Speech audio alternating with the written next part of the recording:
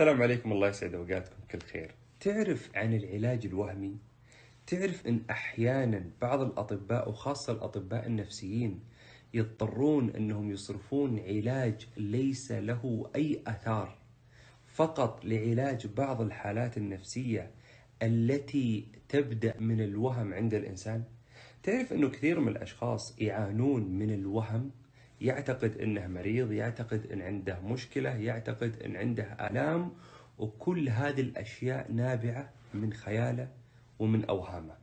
فيروح الاطباء النفسيين ويسوون له فحوصات وإجراءات واحيانا يروح الطبيب عام ويقول أنا والله أشعر بألم بقلبي أو رأسي أو إلى آخره أو القولون دائما يفحصون ما عنده شيء لما يتكرر ويصر ويلح يصرفون له علاج اسمه بلاسيبو هذا العلاج وهمي. الدواء الوهمي جت عليه جدالات كثيرة خاصة من اللجنة البرلمانية للمملكة المتحدة المعنية بالعلوم والتكنولوجيا. قالت أن العلاج الوهمي فيه نوع من خداع المريض وكانت ترفضه بتاتا.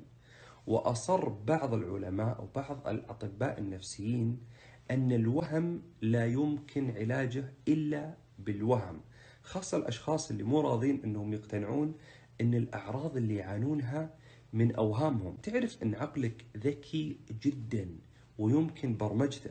فإذا تبي تبرمج عقلك على السعادة تقدر تفكر بأشياء سعيدة وتعيش لحظات سعادة. الآن إذا تبي تكون تعيس تقدر تفكر بأشياء تعيسة ومواقف تعيسة وتسمع أغاني حزينة فراح تكون تعيس. فكذلك بعض الأشخاص يبرمجون عقلهم إن عنده مرض إن عنده ألم ففعلا يشعر بالأمراض وتجيه رجفة ويجيه خفقان ويشعر بألم حقيقي من الوهم. الموضوع ما وصل إلى هذا الحد بس تطور إلى مراحل متقدمة جدا. ووصل إلى مرحلة أنهم ممكن يجرون للمريض المتوهم عملية وهمية.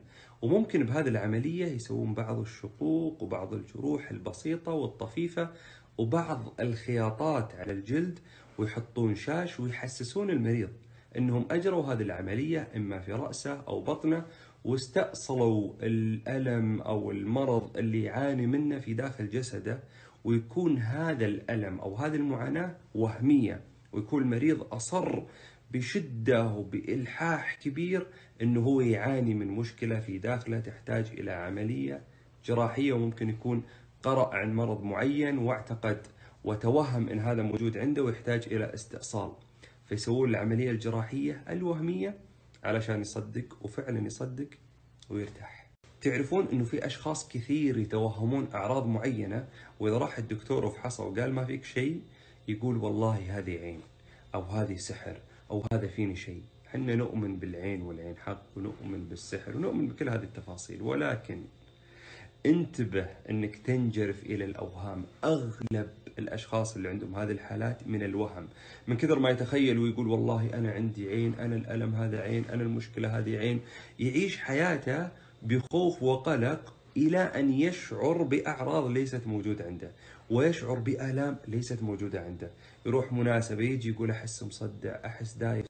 هو رابط في ذهنه في عقله الباطن إنه والله إذا كشخ راح يعطونا عين. إذا ركب سيارة جديدة راح يعطونا عين. إذا لبس ملابس جديدة أو ماركات راح يعطونا عين. إذا سافر سفره راح يعطونا عين. فتجي هذه الأوهام وتحسسه فعلا إنه هو جه عين. وفي الحقيقة ممكن ما حد درى عنه. وإذا كان ولا بد وكنت مقتنع تماما إنك فتنة زمانك وإن العين عليك وين ما تروح وإن الناس ما يخلونك. يا أخي اقرأ أذكارك. حافظ على أذكار الصباح أذكار المساء. اقرأ سورة البقرة يوميا. إذا كنت مقتنع أن العين حق لابد يكون عندك قناعة أكبر بأن حماية الله فوق أي عين وأي سحر وأي أحد يحاول يضرك. هذه القناعة المفروض تكون في بالك. وإذا كنت تشعر دائما بأمراض أو أعراض معينة حاول أنك تفكر عكس هذا الأمر. قد يكون هذا الأمر وهم وأنت مقتنع فيه فحاول تقنع نفسك أنه لا أنا ما أحس بألم. أنا ما أحس بصداع أنا ما أحس بألم في بطني. لا لا أكيد أكيد وهم. أنا سمعت موضوع الوهم. وشوف ممكن يتلاشى. إذا ما تلاشى روح افحص. والأطباء هم أدرى. وما شاء الله الآن العلم متطور. لا تقول لا هذول ما يفهمون شيء. انتبه. تعرفون إن الوهم قد يؤدي إلى القتل إذا ما سيطرنا عليه؟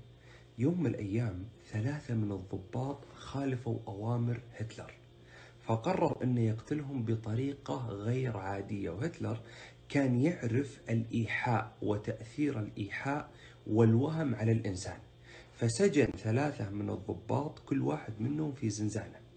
وخلى في كل زنزانة ماسورة يقطر منها الماء وأقنعهم إن هذا سم قاتل يقتل اللي يستنشقه بعد ست ساعات. الغريب بعد أربع ساعات مات اثنين من الضباط.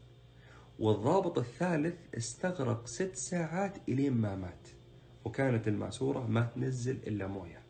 من نفسهم أقنعوا نفسهم إنه سم وإنه قاتل وبدأوا ينتفضون إلى أن ماتوا من الوهم. شيء غريب. قصة ثانية لتجربة أجراها دكتور اسمه بورهيف على أحد المساجين المحكوم عليهم بالإعدام. أقنعه قال له إيش رأيك نقتلك بطريقة فيها تجربة؟ بالمقابل راح نعطي عائلتك مبلغ مالي كبير. وافق هذا الشخص وقال أنا راضي. فقالوا له نبي نقتلك بطريقة أن نريق دمك. نقطع عرقك يعني وينزل دمك إلين ما تموت. وهذا الأمر راح يستغرق ست ساعات. وافق السجين. جلسوه في مكان عصبوا عينيه وربط فيه خرطوم ماء رقيق جدا وأشعره أنه قص وريده. فعلا ما قص.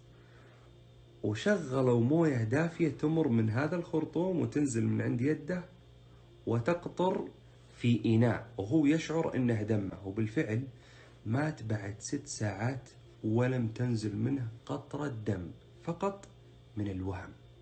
العبرة من هذا الكلام كله انتبه من الوهم لأنه ممكن يمرضك ممكن يقتلك ممكن يشككك بالناس اللي تحبهم ممكن يخليك تفارق أقرب الناس لك.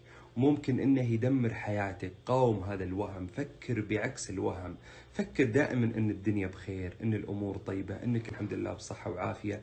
إذا جاك شعور إنه والله الشخص اللي تحبه خانك أو غدر فيك قول لا الحمد لله. أكيد إنه طيب. أكيد هذه وساوس الشيطان.